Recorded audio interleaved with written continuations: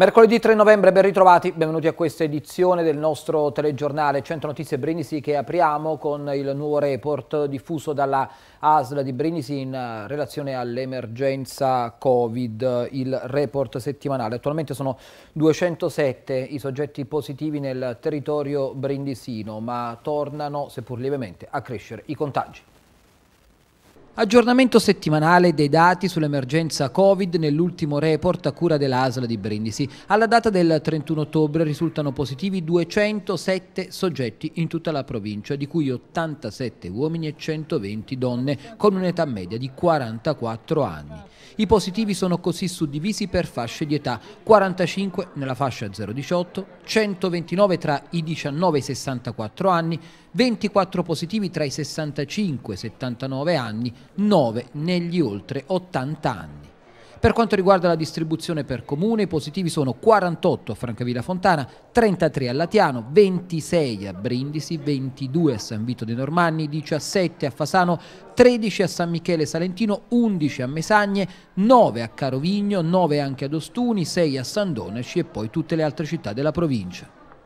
I comuni con i maggiori valori di incidenza cumulativa sono nell'ordine Francavilla Fontana, Brindisi, Torre Santa Susanna e Oria. Nel periodo compreso tra il 24 febbraio 2020, inizio dell'emergenza, e il 31 ottobre 2021 sono stati sottoposti a tampone molecolare in provincia di Brindisi 135.000 residenti. Il tasso di letalità è pari all'1,8%.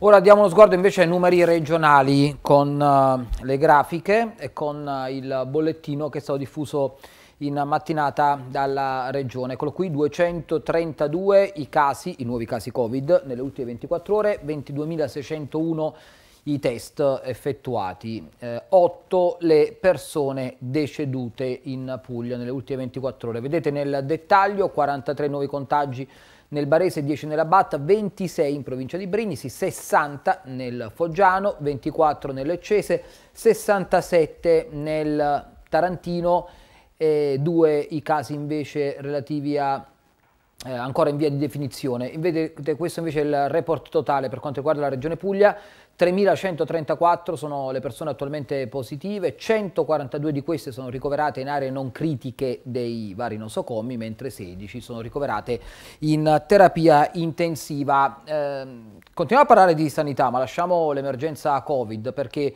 c'è una fase anche post-Covid che è la ripartenza della uh, sanità e molti ospedali in provincia di Brindisi in questo senso già da tempo eh, si stanno riorganizzando. Tra questi c'è quello di Francavilla Fontana. Pensate all'ospedale Camberlingo della città degli Imperiali sarà centro pilota nazionale per la chirurgia della parete addominale. L'ospedale Camberlingo di Francavilla Fontana diventerà centro pilota a livello nazionale per gli interventi di ricostruzione dei disastri di parete addominale grazie ad una nuova tecnica sperimentata per la prima volta in Italia. A darne notizia Giovanni Bellanova, direttore del reparto di chirurgia generale a settembre. Dice abbiamo eseguito due interventi di ricostruzione di disastri della parete addominale che sono difetti dovuti a operazioni multiple o traumi con un nuovo strumento che consente il riavvicinamento dei piani muscolari con un particolare sistema di trazione. Questi interventi particolarmente delicati sono stati eseguiti sotto la supervisione del chirurgo tedesco Gereon Lille la casistica della chirurgia di Francavilla Fontana è stata presentata ai congressi nazionali di Messina, Catania e Milano, dal trattamento delle diverticoliti acute gravi all'esperienza sull'addome aperto, fino a tante altre operazioni che hanno ottenuto riscontri positivi da parte di tanti professionisti. Nonostante i due lockdown, nonostante i due mesi di blocco per la ristrutturazione del reparto, abbiamo eseguito circa 1700 interventi eh, con un aumento concreto del peso delle prestazioni rispetto al passato. Abbiamo gestito diverse urgenze con pazienti particolarmente critici eh, e inoltre abbiamo iniziato a lavorare in chirurgia mini-invasiva laparoscopica eh, con l'attuale dotazione eh, abbiamo una colonna laparoscopica 4K Full HD con possibilità della visione in 3D abbiamo un lettino operatorio di ultima generazione che ci permette di eh, mobilizzare il paziente e consentire una buona riuscita degli interventi. Abbiamo operato anche diciamo, diversi disastri di parete addominali che sono quelle patologie della parete addominale dei pazienti plurioperati e non per ultimo diciamo, da, da, citare eh, siamo stati i primi a utilizzare un sistema di trazione della parete, eh, primi in Italia nello scorso settembre, con una ottima riuscita nel paziente che non voleva essere operato, che non poteva essere operato, non è stato operato da altre parti, è stato poi operato da noi con ottima riuscita. Altra novità della chirurgia del Camberlingo è la gestione e il trattamento delle infezioni fulminanti e delle medicazioni complesse con l'impiego della pressione negativa in collaborazione con la medicina iperbarica dell'ospedale della Marina Militare di Taranto. Doveva fare alcune operazioni in un ufficio postale, ma si rifiutava di indossare la mascherina, tant'è che i dipendenti sono stati costretti a chiamare le forze dell'ordine. A questo punto è scattata quasi una colluttazione anche con i carabinieri che hanno dovuto arrestare una donna di Erchie. È entrata nell'ufficio postale senza mascherina, pretendendo di effettuare ugualmente le operazioni allo sportello. Non contenta ha anche strattonato e minacciato i carabinieri intervenuti. Per questo è stata arrestata e subito dopo rilasciata una cinquantenne di Erchie che ieri, martedì 2 novembre, ha dato vita a momenti di grande tensione all'interno dell'ufficio postale della città. La donna, che si definisce una no mask, avrebbe avuto una reazione scomposta nei confronti del personale dell'ufficio postale che le ha fatto notare di non poter entrare in un ufficio pubblico senza mascherina, così come previsto dalle normative anti-Covid. Il direttore ha dovuto richiedere ad un certo punto l'intervento delle forze dell'ordine per interruzione di pubblico servizio, ma neppure l'arrivo dei carabinieri della locale stazione ha rasserenato la cinquantenne che anzi avrebbe posto resistenza attiva strattonando e minacciando i militari in presenza di più persone. Per questo, di concerto con il pubblico ministero di turno del Tribunale di Brindisi, è stata arrestata in fragranza di reato per resistenza e oltraggio a pubblico ufficiale e subito dopo rimessa in libertà. Torniamo a parlare di ripartenza e anche delle iniziative messe in campo dalle amministrazioni locali per aiutare l'economia. Tra le più attive c'è sicuramente quella di Mesagne che ha deciso di concedere gratuitamente l'occupazione suolo pubblico a tutti gli esercenti, gli esercenti fino al prossimo 31 dicembre. Il comune di Mesagne prova a dare una mano ancora una volta ai commercianti della città. Con delibera di giunta numero 274, l'amministrazione comunale ha prorogato infatti fino al 31 dicembre 2021 la validità delle autorizzazioni all'occupazione gratuita del suolo per i locali di pubblico esercizio che gestiscono attività di somministrazione di alimenti e bevande. Tavolini fuori dunque fino al prossimo 31 dicembre senza dover pagare praticamente nulla. Il provvedimento, si legge nella determina, tiene conto della proroga dello stato di emergenza sul territorio nazionale e ne considera tutte le ragioni. Le autorizzazioni rilasciate ad ogni singolo esercizio commerciale si intendono pertanto valide ed efficaci sino alla fine dell'anno in corso senza necessità da parte dei gestori di dover riformulare le relative istanze. Un'iniziativa fortemente voluta dal sindaco di Mesagna Antonio Matarrelli e dall'assessore comunale alle attività produttive Antonello Mincenti. Mantengono piena efficacia dunque tutte le condizioni di autorizzazione all'occupazione di suolo pubblico contenute nei singoli atti di concessione. Tre persone sono rimaste ferite a seguito di un incidente eh, che intorno alle 23 di ieri si è verificato sulla strada 379 che collega Brindisi con Bari all'altezza di Pozzo Faceto eh, nei pressi di Fasano. I, mal, I, malcapitati viaggiavano a bordo di una Ford Fiesta che per cause da accertare si è eh, ribaltata. I tre occupanti sono stati soccorsi dal 118 e trasportati in ospedale, sul posto anche i vigili del fuoco del distaccamento di Ostuni che hanno rimosso il mezzo incidentato con il supporto di un'autogru partita dal comando di Brindisi. Il sinistro è stato rilevato dalla polizia stradale giornalisti alla scoperta di Torre Guaceto e dei comuni limitrofi per raccontarne le bellezze. Il consorzio di gestione dell'area protetta ha organizzato un press tour che ha portato professionisti della comunicazione a fare tappa nel territorio di pertinenza della riserva. Obiettivo dell'azione è promuovere le ricchezze locali. Per quattro giorni cinque giornalisti di testate nazionali hanno visitato città, le, le città limitrofe a Torre Guaceto e vissuto le esperienze più antiche che il territorio ha da offrire, con il fine ultimo di promuovere presso l'intero paese le inestimabili risorse dell'area di pertinenza della riserva. Hanno preso parte all'iniziativa alcuni giornalisti nazionali, come diciamo, ma anche alcuni tra i dieci fotografi più importanti al mondo. Un intervento straordinario nato dalla volontà del Consorzio di gestione di Torre Guaceto di mettere a sistema l'offerta turistica sostenibile locale e sostenere le realtà virtuose del posto promuovendole eh, presso il grande pubblico. La riserva non è un'isola, si legge in una nota del consorzio e le collaborazioni con gli stakeholders locali impegnati sul fronte dell'accoglienza e della sostenibilità ambientale e sociale sono state eh, sempre numerose. Ciò che ora il Consorzio si pone come obiettivo è la creazione di un'offerta turistica virtuosa e strutturata con tutti gli operatori pronti a seguire gli standard di sostenibilità dell'area protetta.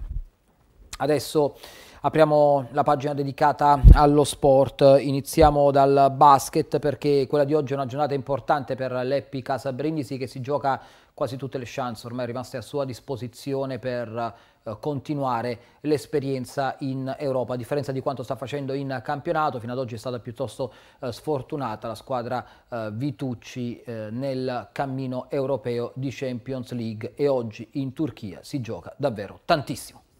5 vittorie consecutive nella stagione regolare, 3 su 3 al Palapentasuglia in questo inizio di stagione. La Epica Sabrini si vuole continuare a tenere inviolato il proprio campo di gioco e ha bisogno di tutto il tifo del pubblico bianco-azzurro. Per questo, a cominciare da ieri, sono stati messi in vendita i tagliandi per assistere ai prossimi due match casalinghi di campionato valevoli per la Lega Basket di Serie A. Per questo, a partire da ieri, martedì 2 novembre, sono stati messi in vendita i tagliandi per assistere ai prossimi due match casalinghi valevoli per il campionato di Lega Basket di Serie A. Eppi Casa Brindisi contro Trentino sabato 13 alle ore 20 ed Eppi Casa Brindisi contro Milano il 5 dicembre, domenica alle ore 17.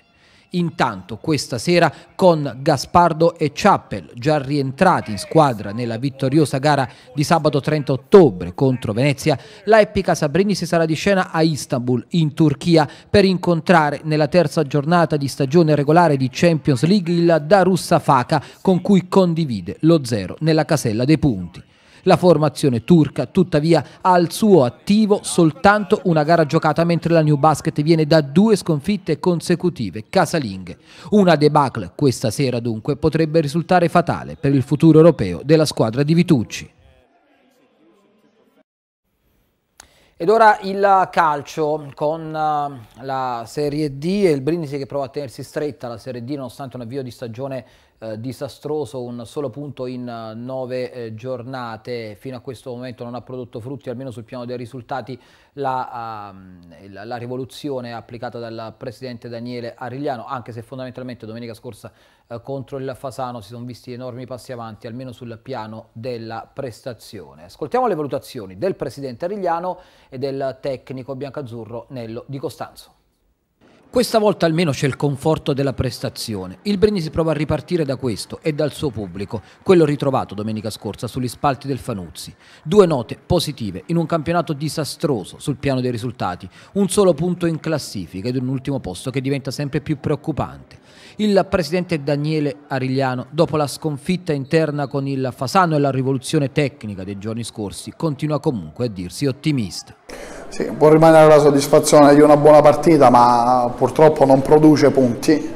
E adesso più che mai a noi servono punti. Io ho parlato con i ragazzi, eh, gli ho fatto notare quanto la città di Brindisi con un minimo riesce a starci vicino in maniera importante e che loro devono sicuramente esprimere una prestazione a Casarano dove oltre all'aspetto tecnico devono necessariamente eh, portare punti a casa perché altrimenti ora possiamo fare tutto quello che vogliamo, ma la classifica diventa veramente una cosa preoccupante. Che umore ha visto nello spogliatoio? Prima della partita e nell'intervallo un umore molto alto e poi nel finale chiaramente ho purtroppo visto anche qualche lacrima, ma è più che normale ed è giusto che sia così, anzi probabilmente perché i ragazzi sono veramente attaccati alla voglia di far bene, eh, ma devono trasformarla in, in punti e classifica che si muove. Chiede tempo il nuovo allenatore Nello Di Costanzo. Ci manca soltanto il gol adesso, commenta, ma sono certo che questa squadra sia destinata a crescere. Beh sì, è vero, il primo tempo, la prima mezz'ora soprattutto, abbiamo spinto sull'acceleratore, abbiamo creato diverse occasioni da gol, la squadra ha creato gioco. Eh, il secondo tempo, dopo un'occasione straordinaria nei primi minuti, con Silvestro che ha cambiato campo su De Luca che ha colpito di testa, la palla rimbalzato davanti alla porta è andata sulla traversa. Insomma, dopo questa occasione siamo un poco calati, soprattutto dopo quell'episodio del gol che è stato un attimo di distrazione, abbiamo subito il loro blocco e si è trovato l'avversario solo. E nel finale devo dire che abbiamo gettato il cuore oltre l'ostacolo, tutti quanti si sono prodigati e si sono create anche diverse occasioni da gol, in quel caso lì veramente potevamo con un po' più di cattiveria trovare il gol, poi si è messo anche l'arbitro che ha fatto degli errori veramente madornali. Abbiamo un aggiornamento di cronaca eh, dell'ultima ora. Questa mattina un'auto, una Ford Fiesta, condotta da un 52enne brindisino, ecco stiamo vedendo anche le immagini, nel transitare sulla, sulla complanare della strada statale 7 in direzione Brindisi, urtava un brindisino senza fissa dimora di 70 anni che vive di espedienti. Questi spingeva un carrello sul quale c'era un grosso tubo metallico lungo circa 6 metri. Nell'urto il tubo si conficcava nell'auto dal lato passeggero colpendo di rimando il pedone che veniva schiacciato a sua volta sul guardrail. L'auto fermava la marcia uscendo fuori strada dopo aver impattato col muro perimetrale di un'abitazione. Il conducente dell'auto è in osservazione dopo che gli sono stati applicati 15 punti di sutura il pedone invece che ha avuto la peggio è in rianimazione ed è sottoposto attualmente a un delicatissimo intervento chirurgico dal personale medico dell'ospedale Perrino. Notizia dell'ultima ora che vi consegniamo anche con queste immagini. E allora è davvero tutto per quanto riguarda questa edizione del nostro telegiornale, ma l'informazione non finisce qui perché tra poco c'è il nostro approfondimento con il fatto, con il direttore Walter Baldaconi, parte tecnica di questo telegiornale curata dalla sede di Brindisi di Studio 100 TV da Alessandro Colavito. Grazie per l'attenzione, buon proseguimento con i nostri programmi.